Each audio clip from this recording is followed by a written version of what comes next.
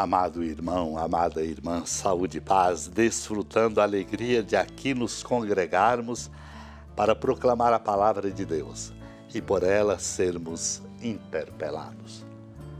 Quando Jesus se aproximava de Jericó, um cego estava sentado à beira do caminho pedindo esmolas. Ouvindo a multidão passar, ele perguntou o que estava acontecendo. Disseram-lhe que Jesus Nazareno estava passando por ali. Então o cego gritou: Jesus, filho de Davi, tem piedade de mim.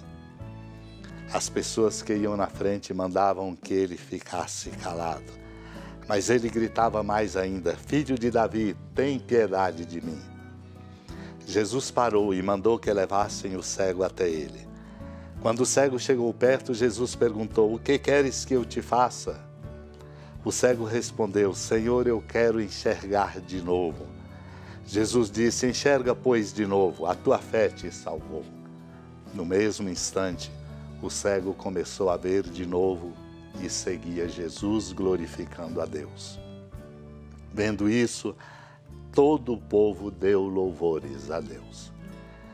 Amado e amada de Deus, Jesus perguntou: O que queres que eu faça por ti? E o cego respondeu: Senhor, eu quero enxergar de novo. E Jesus disse-lhe: Enxerga, pois, de novo, a tua fé te salvou. No mesmo instante, pela força da fé, escancarou-se as portas da vida daquele cego e ele recebeu a graça de começar a ver de novo e por isso seguia Jesus glorificando a Deus. Sublinha de maneira iluminada a direção desta experiência a sabedoria da exortação dos, aos pagãos de Clemente de Alexandria ao dizer: mas quando és tu, Senhor, que me conduzes à luz e por meio de ti encontro a Deus e por ti abro-me ao Pai, então eu me torno coerdeiro contigo, porque não te envergonhaste de me chamar irmão. Uma recomendação: cuidemos de não esquecer a verdade, afastemos de nós a ignorância. E dissipadas as trevas que ofuscam como nuvens os nossos olhos, contemplemos o verdadeiro Deus, elevemos imediatamente a voz aclamando: Salve, ó luz! Pois a nós que estávamos sepultados nas trevas e envoltos na sombra da morte, apareceu a luz do céu, mais pura do que o sol e mais cheia de alegria do que esta vida. Essa luz é a vida eterna e dela vivem todas as coisas que dela participam. A noite, ao contrário, fugiu da luz e ocultando-se temerosa, cedeu lugar no dia do Senhor. Difundiu-se por toda parte aquela luz que não pode extinguir-se, e o ocaso deu lugar à aurora.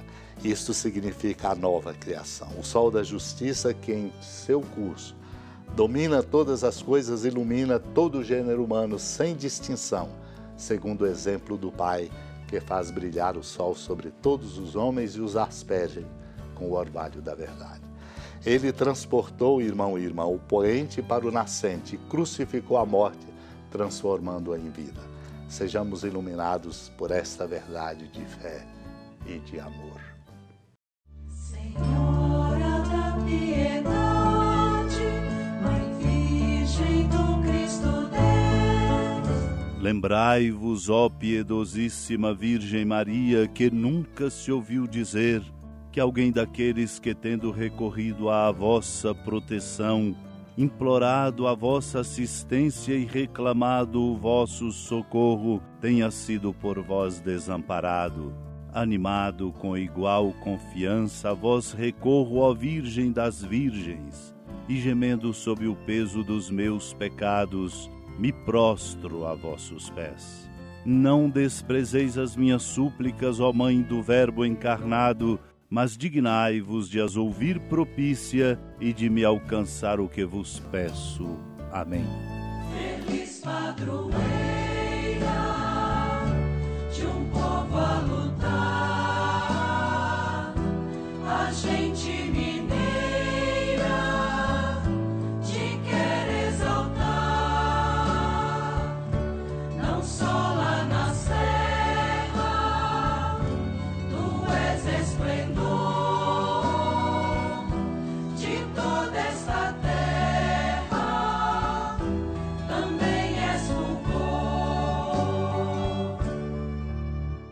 Amado irmão, amada irmã, com alegria do Santuário Basílica da Padroeira do Estado de Minas Gerais, a Senhora da Piedade, que da sua casa de clemência e bondade nos acompanha e nos abençoa do alto da serra, magnífica arquitetura divina, a bênção de Deus, amor misericordioso. Pai, Filho e Espírito Santo desça sobre sua família, proteja sua casa, sustente sua vida, fecunde o caminho missionário de nossa igreja, nos encha de sabedoria e permaneça conosco para sempre. Amém.